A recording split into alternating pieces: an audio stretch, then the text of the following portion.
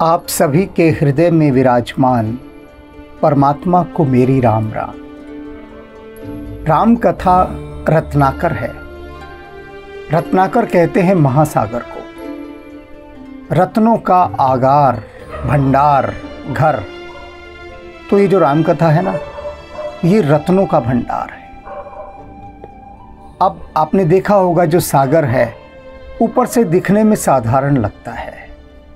कोई मनुष्य ये कल्पना नहीं कर सकता कि सागर के गर्भ में न जाने कितने रत्न समाये हुए हैं, सोए हुए हैं। लेकिन जो गोता मारते हैं भीतर, वे ही उसे पाते हैं। अन्य लोग भी पाते हैं, जो किनारे पर रहते हैं। सागर उन पर भी बड़ा कृपालु है। कुछ कुछ सीप वहाँ पर आ जाती हैं किनारे पर, और उन सीपियों को लेकर ही जन सामान्य प्रसन्न हो जाता है। तो राम कथा एक ऐसा रत्नाकर है, जिसे यदि बाहर बाहर से देखेंगे तो लगेगा कि ये तो साधारण सी कथा है। इसमें कुछ भी तो विशेष नहीं है, सब कुछ सामान्य और इतना सामान्य होता है कि पूरी रामलीला निकल जाती है और लोगों के दिलों को कुछ नहीं छू पाता, कुछ भी नहीं। वही रामलीला के मेले ठेले सब उसी में खो जाता है। वही जो मेले ठेले रामलीला के आसपास लगते हैं ना, ये माया का पसारा होता है, जो राम कथा को ढंग से सुनने नहीं देता, लीन नहीं होने देता। रामलीला चल रही है, लेकिन क्या मतलब रामलीला से? रामलीला में तो चना ज़ोर गरम खाना है, पॉपकॉर्न खाने हैं, भल्ले पापड़ी खाने हैं, आलू की टिक्की खानी है, वो सब आसपास खोमचों से आ जाती है। तो रामकथा से क्या सरोकार? लेकिन गरुड़ जी जब सुन रहे हैं काक भूषणी जी से राम कथा तो बिल्कुल लवलीन होकर, भगवान शिव ने सुनी, बिल्कुल डूबकर। अब जब राम कथा सुनाने वाले काक भूषणी जी और सुनने वाले इतने गुणग्राहक इतने रिसेप्टिव तो वो जो रिसेप्टिविटी है, वो रहस्यों को खोलती जाती है। और गरुड़ जी के भीतर जो मोह छा गया था, भ्रम छा गया था, उस सभी का निवारण हो गया। अब स्वयं गरुड़ जी क्या कह रहे हैं, यह सुनिए। गए हु मोर संदेह, सुने हूँ सकल रघुपति चरित। काक भूषणी जिसे कहते हैं गरुड़ जी, कि मेरा जितना संदेह था रघुपति जी के प्रति, प्रभु श्री राम के प्रति, वह राम की यह कथा सुनने के बाद सब चला गया। राम की कथा तो हम लोग भी सुनते हैं। हमारा संदेह तो नहीं जाता। और बढ़ता जाता है, और बढ़ता जाता है। क्योंकि हम सुनते ही कहाँ हैं? सुनना एक कला है, विद्या है। जब गरुड़ जी ने ये कथा सुनी तो वे केवल सुनना हो गए थे। भगवान शिव ने जब सुना, वे भी वे सुनना हो गए थे। जो लिसनिंग स्किल्स है, यानी सुनने की कला वह यह होती है कि जब आप सुने किसी चीज़ को तो आपका पूरा शरीर केवल कान बन के रह जाए। सारी इंद्रियाँ कान में आकर केंद्रित हो जाएँ। आप सिर्फ़ कान होकर रह जाएँ। और इसी तरह से देखना होता है कि वास्तविक देखना यही होता है कि जब शरीर की कोई इंद्रिय शेष ना रहे, सारी इंद्रियाँ आँख पर ही आकर केंद्रित हो जाएँ, जैसे अर्जुन की होती थी। अर्जुन जो देखना चाहता था, सिर्फ़ वही देखता था, बाकी सब कुछ आउट ऑफ़ फोकस हो जाता था। तो गरुड़ जी ने भी इसी प्रकार से राम कथा सुनी। भयहु राम पद ने, तव प्रसाद बायस तिलक। कहते हैं, कोवों में श्रेष्ठ, काक श्रेष्ठ। जैसे हनुमान जी को कहते हैं ना, वानर श्रेष्ठ। ऐसे काक श्रेष्ठ काक भूषणी जी, आपसे राम कथा सुनने के बाद भय हु राम पद ने। मेरा राम के श्री चरणों में प्रेम हो गया है। ये जो आपने प्रसाद दिया राम कथा का, ये आपके अतिरिक्त अन्य कोई दे ही नहीं सकता था। यह आपका अनुग्रह है, आपकी अनुकंपा है। मोह भय हु अति मोह, प्रभु बंधन रत महु निरक कह रहे हैं गरुण जी कि मुझे तो राम जी को बंधन में देखकर महामोह ने घेर लिया था। देखा कि युद्ध में वो बंधन में पड़ गए हैं। चिदानंद संदोह, राम विकल कारण कवन। कहते हैं, जब वो चिदानंद स्वरूप हैं, तब क्यों एक जन सामान्य के समान व्याकुल हो रहे हैं? कि वे तो बड़े व्याकुल हो गए थे। तो उनको इस प्रकार से व्याकुल हुआ देखकर, परेशान हुआ देखकर, बंधनों में पड़ा हुआ देखकर मुझे तो संदेह होना स्वाभाविक ही था, क्योंकि उनका सारा व्यवहार एक जन सामान्य के समान था। यदि वे चिदानंद हैं तो फिर उनका ऐसा व्यवहार नहीं होना चाहिए। उन्हें तो कोई अंतर ही नहीं पड़ना चाहिए। चाहे कोई कुछ भी करता रहे, लेकिन उन्हें तो अंतर पड़ रहा है। बिल्कुल जन सामान्य के समान। देख चरित अति नर अनुसारी, भय हूँ हृदय मम संशय भारी। क्यों मेरे मन में ये भारी संशय हुआ कि राम वे ही परब्रह्म नहीं है? क्यों हुआ? कारण सामान्य था। देख चरित अति नर अनुसारे। उनका जो चरित मैंने देखा देखा वो तो एक सामान्य नर के समान है। वे वैसा ही व्यवहार कर रहे हैं जैसे कि कोई एक सामान्य, एक साधारण व्यक्ति करता है। कुछ भी विशेष व्यवहार नहीं था। अनेक प्रसंगों में लक्ष्मण को शक्ति बाण लगा तो व्याकुल हो रहे हैं, रो रहे हैं। पिता के देहांत का समाचार मिला तो रो रहे हैं, जटायु की मृत्यु पर रो रहे हैं और सीता के वियोग में तो जो रोए हैं, उसको तो बखाना ही नहीं जा सकता। कितने कितने प्रसंग ऐसे आते हैं राम के साथ कि जिनको देख कर लगता है कि ये तो बिल्कुल जन सामान्य का व्यवहार है। वे अयोध्या छोड़कर चले गए। और अनेक लोगों के मन में तो ये संदेह आ गया कि राम वीर पुरुष थे ही नहीं। अगर वीर पुरुष होते तो वो लड़ते और पिता को कारागार में डाल के स्वयं सिंहासन पर बैठ जाते। ऐसे भी भला कोई छोड़कर जाता है अपना साम्राज्य। तो जिनके ऊपर और गहरा मोह छाया होता है, वे इस दृष्टि से देखते हैं। तो ये जो दृष्टियाँ हैं देखने की ये मोहग्रस्त दृष्टियाँ हैं। ये सारी कट गई इनकी। अब वे स्वयं बता रहे हैं कि ये ये कारण से मुझे मोह हो गया था। सोई ब्रह्म, अब हित कर मैं माना। गरुड़ जी कह रहे कि बहुत अच्छा हुआ मुझे वह भ्रम हुआ। और मैं तो उसको अपने लिए कल्याणकारी मानता हूँ उस भ्रम को, उस संदेह को। क्योंकि अगर वो संदेह ही ना होता तो मेरी इतनी अच्छी यात्रा नहीं होती। कीनी अनुग्रह कृपा निधाना। वे जो कृपा निधान प्रभु श्री राम है, उन्होंने मुझ पर अनुग्रह किया। कृपा की, क्या कृपा की? देखा कि ये जो गरुड़ है, ये तो संदेहग्रस्त हो गया। और यदि ये संदेहग्रस्त ही रहा तो ये संदेह इसका रोग बन जाएगा। और प्रभु ने तो मेरा रोग काटना था। तो रोग काटना था तो इसने मेरे भीतर उन्होंने व्याकुलता बहुत दी होता क्या देखिए? अगर गरुड़ जी को संदेह हुआ था ज़रा सा और वो कहते छोड़ो, मुझे क्या लेना देना?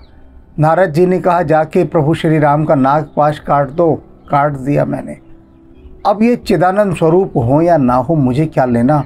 मैं तो अपने काम पे निकलूँ। ऐसा भी हो सकता था। तो अगर वो संदेह गहराता नहीं, उसके गहराने से व्याकुलता और नहीं घनीभूत होती तो वे नारद जी के पास लौटकर जाकर पूछते नहीं कि मेरे मन में ऐसा भ्रम हो रहा है, उसका उत्तर दीजिए। भीतर एक बीमारी आ गई थी ना, रोग आ गया था। अब वह रोग सता रहा था। संदेह से बड़ा रोग कोई नहीं, अब उस रोग का उनको उपचार चाहिए। तो गए नारद जी के पास। नारद जी समझ गए कि रोग भयंकर है। तो आगे रेफर कर दिया कि विधाता के पास जाइए। ब्रह्मा जी इस रोग का निदान कर सकते पहुँचे ब्रह्मा जी के पास। तो वे कहते हैं कि भैया, मैं स्वयं ही रोगी हूँ, मैं चिकित्सक थोड़ी ना हूँ। इस रोग ने तो मुझे न जाने कितनी बार पकड़ा है। ये जो माया का रोग, ये जो भ्रम का रोग, संदेह का रोग तो जो स्वयं संदेहग्रस्त रह चुका हो, मोहग्रस्त रह चुका हो, स्वयं रोगी हो वह उस रोग में दूसरे का क्या उपचार कर सकता है? और अभी भी कोई भरोसा नहीं है, रोग फिर आकर घेर ले। तो तुम ऐसा करो, सच्चे चिकित्सक तो भगवान शिव हैं। उनसे बड़ा वैद्य कोई है ही नहीं, जाओ उनके पास। अब गरुड़ जी वहाँ चले गए। तो भगवान शिव ने कहा कि देखो, तुम सही जगह आए हो, लेकिन अब सही जगह चले जाओ, काकभूषण जी के पास। वहाँ पहुँचो और वहाँ पहुँच तुम्हारा पूरा उपचार हो जाएगा। अब गरुड़ जी तो प्रसन्न हो गए। होना ही था कि भगवान शिव जो जगह बता रहे हैं, वह प्रामाणिक जगह है। वह स्थान ऐसा नहीं हो सकता। निश्चित रूप से वहाँ उपचार होगा, क्योंकि भगवान शिव ने कहा है, यह शिव की वाणी है। तो पहुँच गए थे वहाँ। काक भूषणी जी से गरुड़ जी कह रहे हैं, कितना अच्छा हुआ मेरे मन में ये संदेह इतना गहराया। तो मेरे भीतर ये तड़प भी उठी कि मैं इस संदेह का निवारण करूँ। यहाँ इस बात को समझ लीजिए। अभी मैंने आरंभ में ही कहा था कि ये राम कथा बड़े रहस्यों से भरी हुई है। जन सामान्य क्या करता है? संदेह के साथ जीता है और संदेह के उस बीज को एक हरा भरा घना वृक्ष बना लेता है। बहुत बड़ा वृक्ष। वह उस संदेह की जड़ें काटने का प्रयास नहीं करता। यह नहीं सोचता कि मेरे भीतर ये संदेह आया है तो यह समाप्त हो। वह उस संदेह को और बढ़ाता है, और बढ़ाता है। लेकिन गरुड़ जी ने कहा, नहीं, ये संदेह नहीं होना चाहिए। क्यों हुआ मुझे ये संदेह? मुझे इसे दूर करना है। तो उस दूर करने की यात्रा, जब भी संदेह हो, तत्काल उस संदेह को दूर करने की विनम्र यात्रा पर निकलना चाहिए, बीच में हटा देना चाहिए खुद को। एक के बाद एक गरुड़ जी को आगे भेजा जा रहा है, लेकिन वो चिड़े नहीं खींचे नहीं, इरिटेट नहीं हुए। कि ये क्या चक्कर है जिसे देखो वही आगे भेज रहा है। ऐसा कुछ नहीं। संदेह के लिए तो बहुत तपस्या करनी पड़ती है, तब उसका निवारण होता है। जो अति आतप व्याकुल होई, तरु छाया सुख जान नहीं सोई।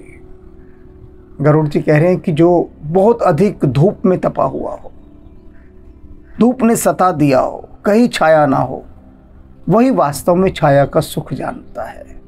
क्योंकि मैं इस संशय के ताप में बहुत तपा बहुत तपा। और तपने के बाद जब अब मुझे ये काकभूषणी जी के पास राम कथा रूपी वृक्ष की छाया मिली, तब मुझे पता लगा छाया का सुख होता क्या है। वो एक भजन सुना है ना? सूरज की गर्मी से जलते हुए तन को जैसे मिल जाए तरवर की छाया, ऐसा ही सुख मेरे तन को मिला है मैं जब से शरण तेरी आया मेरे राम। तो जो तन को और मन को जो सुख मिलता है ना, ऐसा ही सुख मेरे मन को मिला है, मैं जब से शरण आया तेरी राम। तो तन और मन दोनों को सुख मिल जाता है जब राम की शरण में चले जाते हैं। गरुड़ जी भी वहीं गए हैं राम की शरण में और कह रहे हैं कि, यदि ना इतना तपा होता मैं, जल का महत्व सिर्फ़ वही जान सकता है जल में छिपे हुए अमृत का तत्व केवल वही पहचान सकता है, उसे अनुभव कर सकता है, जो रेगिस्तान में मीलों चला हो। रेगिस्तान एयर कंडीशन में बैठकर जल के भीतर छिपे हुए अमृत के तत्व को कोई नहीं जान सकता। कहते हैं ना, जल अमृत है। कभी इस जल में छिपे हुए अमृत के तत्व को अनुभव करना होना तो सुबह से शाम तक चलना, प्यासे चलना, धूप में चलना तड़पने लगना बिना पानी के। और जब ये लगे कि अब तो सहन नहीं होगी प्यास, अगर जल ना मिला तो फिर जीवन गया, तब उस जल को पीकर देखना। वो जल नहीं होगा फिर। अमृत। उसके भीतर जो अमृत है ना, उस अमृत को खींचेगा आपका शरीर, आपका मन। खींच कर ले आएगा, जैसे मधुमक्खी फूलों से रस खींच कर ले आती है, शहद खींच कर ले आती है, मकरंद खींच कर ले आती है। इस प्रकार से आपका पूरा शरीर, मन, सब मिलकर एक मधुमक्खी बन जाएँगे जो इस जल के भीतर से अमृत को खींच लाएँगे। लेकिन कब? जब प्यास को गहराएँगे। गरुड़ जी की प्यास गहराई तो उन्हें रहस्य का अमृत सामने प्राप्त हो गया। जो नहीं हो मोह अति मोही, मिलहू तात कवन विद तो ही कह रहे हैं, गरुड़ जी, अगर मुझे इतना मोह नहीं होता है तात तो मैं आपसे कहाँ मिल पाता? मैं तो नारद जी के पास ही नहीं जाता। जब ना नारद के पास जाता, ना वे ब्रह्मा जी के पास भेजते, ना मुझे भगवान शिव के पास भेजा जाता, और ना ही शिव मुझे आपके पास भेजते। ये इसी महामोह से उठे ताप के कारण व्याकुल होकर मुझे सुशीतल छाया चाहिए थी और यही मुझे भगाता रहा संशय। और इस महामोह के कारण ही मैं आप तक पहुँचा। अर्थात कई बार जो चीज़ें हमें बाहर से बड़ी दुखदाई लगती हैं, उनका अंत बड़ा सुखदाई होता है। बहुत सुखदाई। पता नहीं, राम हमारी कौन सी यात्रा किस लिए करा रहे हैं, क्या वे देना चाहते हैं? अब यहाँ गरुड़ जी को कितना कुछ मिला। अब बात समझ में आई जब प्राप्ति हो गई। सुनहु किम हरि कथा सुहाई। अति विचित्र बहुविधि तुम गाई। कहते हैं, ये जो राम की कथा है, सुख देने वाली हरि कथा, अति विचित्र बहुविधि तुम गाई। किस प्रकार से? सुने हूँ किमी हरि कथा सुहाई। भला अगर मैं इतनी यात्रा ना करता, इतना ना भागता तो भला आप तक पहुंचकर मैं किस प्रकार ये कथा सुन सकता था? और तो कोई है ही नहीं सुपात्र सुनाने वाला। भगवान शिव भी जानते हैं ये कथा। अब मेरी समझ में आया, लेकिन उन्होंने भी नहीं सुनाई। क्यों नहीं सुनाई? क्योंकि जिस प्रकार से आपने सुनाई, वैसी भगवान शिव भी नहीं सुना सकते थे। वे स्वयं पार्वती से कहते हैं कि, पार्वती, सुनो। जितनी मेरी बुद्धि है ना, जितनी भी मति है, थोड़ी बहुत उसी के आधार पर मैंने प्रभु श्री राम का ये जो चरित्र है, कुछ कहा है। सारा तो मैं भी नहीं कह सका ये भगवान शिव कह रहे हैं पार्वती से कि मैंने तुम्हें पूरी राम कथा सुनाई, लेकिन प्रभु श्री राम का चरित्र जो मैंने सुनाया, वो अपनी इस बुद्धि से सुनाया है। तुम इसे अंतिम मत मान लेना, यह मत सोच लेना कि मेरे प्रभु भगवान भोलेनाथ, भूतनाथ शिव, यदि उन्होंने ये कथा सुनाई है तो ये अल्टीमेट है, अंतिम है। इसके बाद कुछ नहीं, अंतिम सत्य है। इससे अच्छी राम कथा कोई सुना ही नहीं सकता। शिव कहते नहीं। रेखांकित कर रहे हैं, उस बात को अंडरलाइन कर रहे हैं कि सुनो, ये राम कथा मेरी राम कथा है, जो मैंने अपनी बुद्धि से सुनाई है। प्रभु राम का चरित्र तो सुनाया ही नहीं जा सकता, वो इतना विराट है। मैंने तो कुछ कहा है। तो यही बात यहाँ पर गरुड़ जी कह रहे हैं सुन किमि हरि कथा सुहाई, अति विचित्र। यह बहुत विचित्र है। अति विचित्र माने अति रहस्यात्मक। इतने अधिक गहरे रहस्य हैं, पकड़ में ही नहीं आते।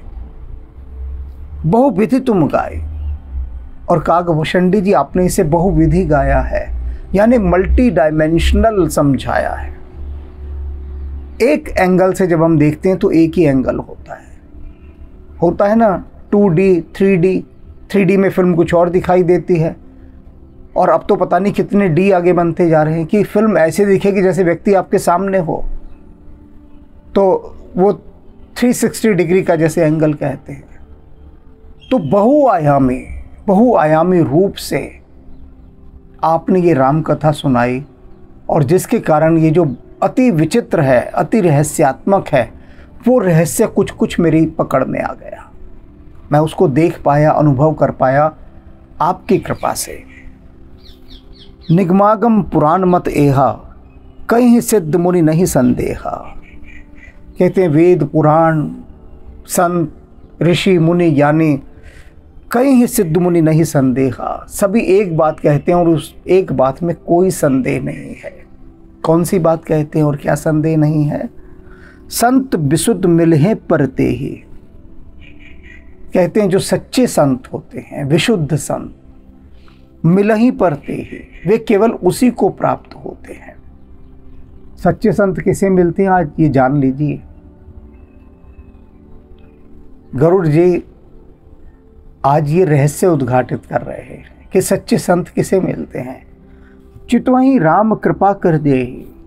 राम जिस पर कृपा दृष्टि से देखते हैं। राम जिसकी ओर देख ले कृपा करके, फिर उसके बाद उसे सच्चे संत मिलते हैं। मैं हिमालय में ऐसे ऐसे संतों से मिला हूँ। रहस्यात्मक संत, छिपे हुए संत, जो किसी से नहीं मिलते, इतने अधिक रहस्यात्मक स्थानों पर रहते हैं। मिलते ही नहीं किसी से। तो संयोग से एक पत्रकार मित्र मेरे पीछे पड़ गए कि मुझे उनके पास, किसी एक संत के पास ले चलो मिलना है। मुझे मिलना है, दर्शन करने, किसी एक संत के पास ले चलो। तो मैंने कहा, भाई, उनकी अनुमति के बिना किसी से नहीं मिला जा सकता। वहाँ जाया ही नहीं जा सकता। उन्होंने कहा, बस, एक बार मैं मिलूँगा। मैंने कहा, देखो पत्रकारों से और इन सब लोगों से वे बहुत दूर रहते उन्होंने कहा, नहीं, मैं बस चुपचाप बैठा रहूँगा, आप बस ले चलिए। तो मैंने अनुमति मांगी।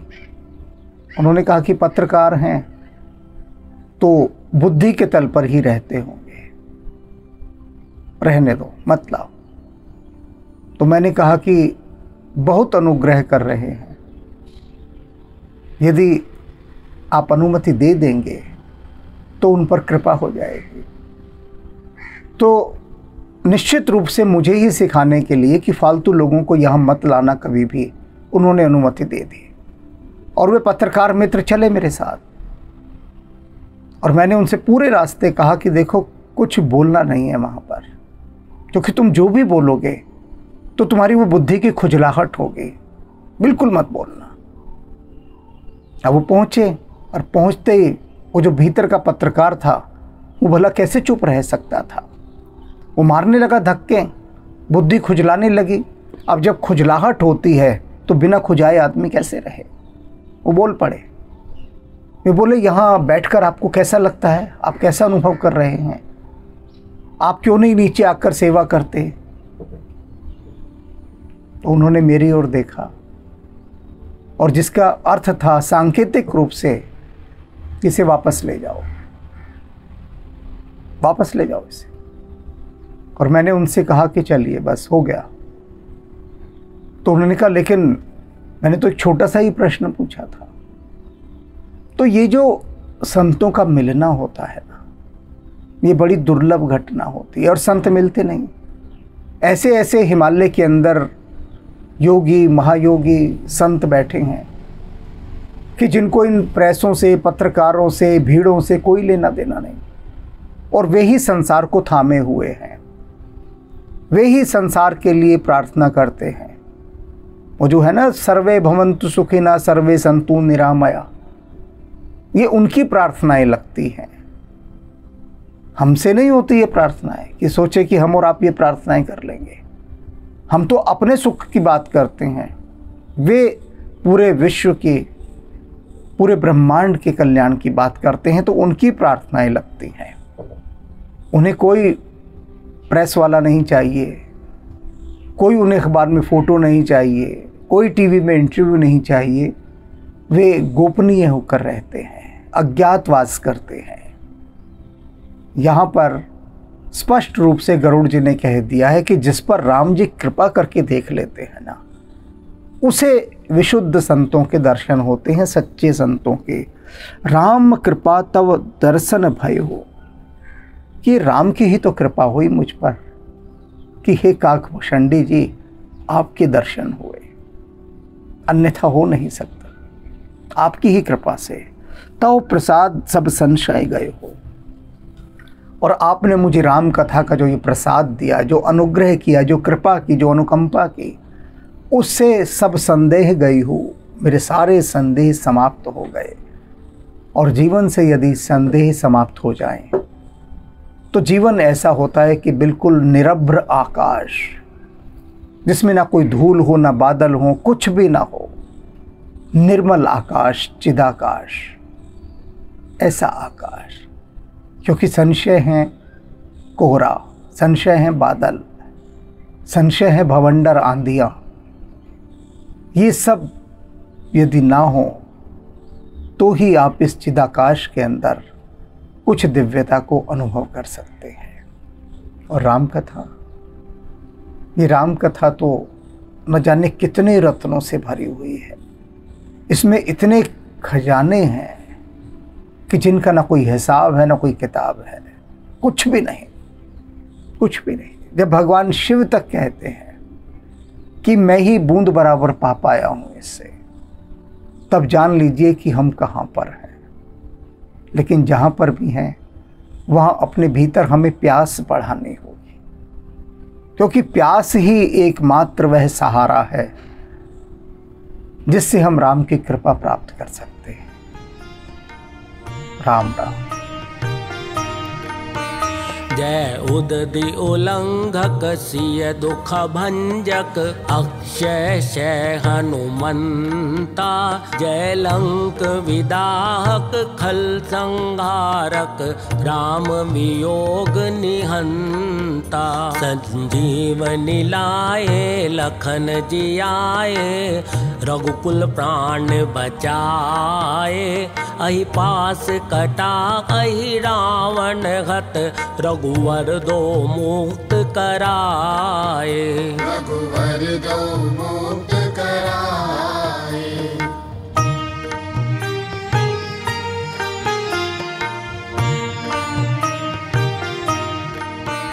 सनकादित सारद शेष विशारद तब बल को नहीं जाना। तो ही भक्त प्यारे शास्त्र पुकारे, द्रवो सो श्री हनुमाना। त्रेता द्वापर कलि सतभूषा शक सब सुख राज